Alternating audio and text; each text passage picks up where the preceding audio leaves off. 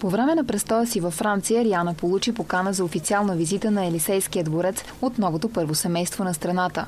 На входа на двореца изпълнителката беше посрещната от първата дама Бриджит Макрон, а после беше приета от президента.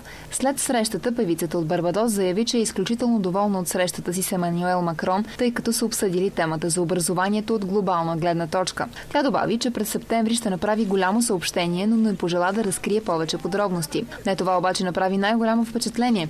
Избора на дрехи на Риана буквално втрещи модните критици. Певицата беше заложила на черно-сива комбинация костюм на Диор, която изглеждаше сякаше няколко номера по-голяма от размера, който тя носи. Модела на сакото й беше с подплънки, което придаваше още по-широк вид на раменете й. Като завършик на цялостната си визия, Риана беше заложила на сребристи сандали. Модните критици допълват, че за сметка на изпълнителката, първата дама на Франция не е изневерила на елегантния си стил.